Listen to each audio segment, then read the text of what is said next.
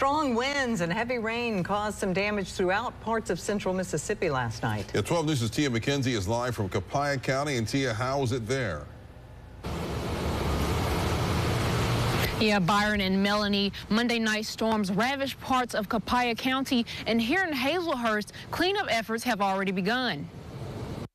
Damaged homes, down power lines, and uprooted trees are scattered throughout the Copiah County community. We do like we normally do. We'll get in the hallway with a pillow to, to protect our heads or whatever, and we just waited until the storms passed. But uh, during the storm, it was it was very hectic.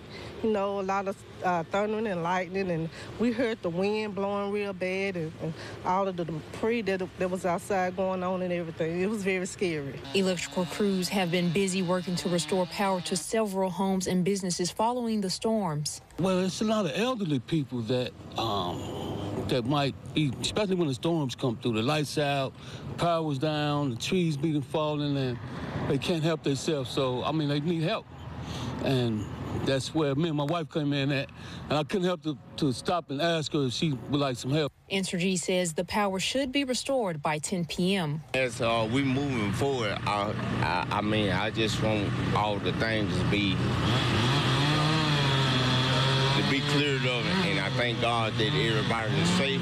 The National Weather Service in Jackson issued a tornado warning Monday night for Copiah County and surrounding areas. Survey crews are assessing the damage to confirm if a tornado actually touched ground. Whenever we have storms going on, it's always good to pray because God will bring you out of any situation. I always pray and, and stay together with family, call and make sure everybody's okay. Residents say they're just thankful no one was harmed. Again, power should be restored to areas here in Copiah County by 10 o'clock tonight. Live in Hazlehurst, I'm Tia McKenzie, 12 News.